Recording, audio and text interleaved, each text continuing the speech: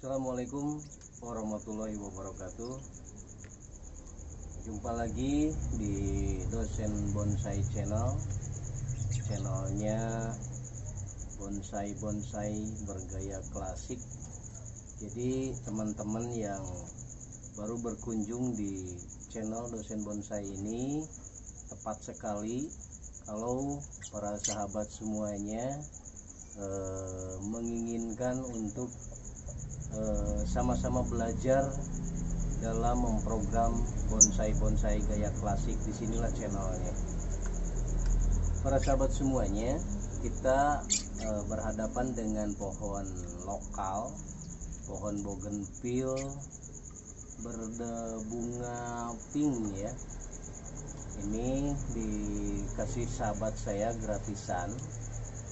Uh, beliau stek batang dan waktu itu pohon ini tidak subur karena posisi yang kurang e, sinar matahari full. Jadi e, teman saya kasihkan dan di tempat saya e, panasnya sangat full dan anginnya juga sangat full serta penyiraman yang rutin saya lakukan juga yang akhirnya ini pohon betul-betul subur sampai batang yang ini. Itu tadi bisa saudara lihat semuanya bahwa uh, batang ini sangat panjang sekali walaupun ditanam di dalam pot yang ukurannya seperti ini. Ini apa um, memberikan pengetahuan kepada kita bahwa media tanam yang saya buat ini betul-betul subur. Para sahabat uh, kita coba untuk apa? Untuk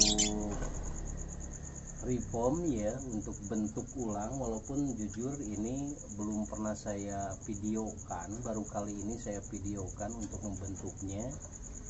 Uh, dan nanti ini tidak akan saya pruning hanya akan cutting saja dan selanjutnya nanti besok atau lusa saya ganti medianya yang lebih bagus lagi.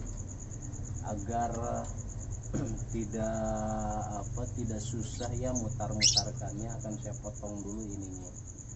Oke sahabat semuanya saksikan video ini semoga bermanfaat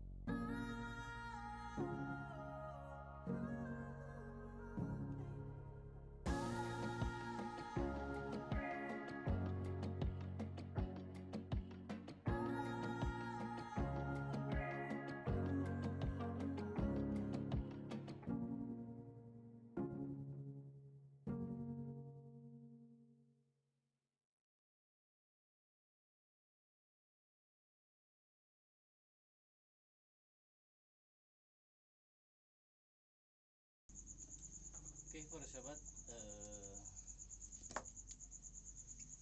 di pembentukan yang pertama yang saya videokan ini eh, saya tidak akan pruning.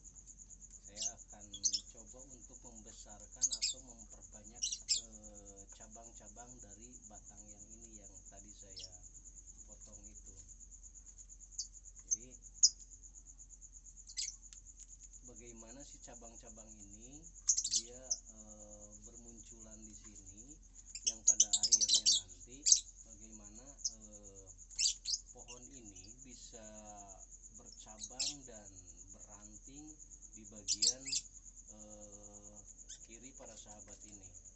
Jadi bagaimana kita menyuburkan ini nanti si pohon ini akan lebih banyak pertumbuhan daunnya ke sebelah sebelah kiri yang apa di sebelah kiri para sahabat ini. Jadi nanti posisinya seperti ini ke sini.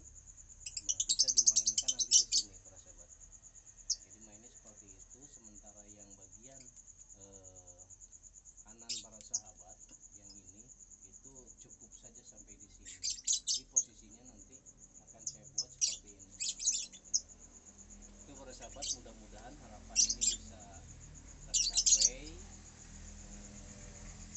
dan kemudian nanti akan saya coba mensuburkan lagi medianya dengan pasir malang ya, biar pertumbuhan pohon ini benar-benar maksimal pohon ini di bagian batangnya itu ada ada keropos ya para sahabat di sini dan keroposnya itu sengaja dibuat oleh teman saya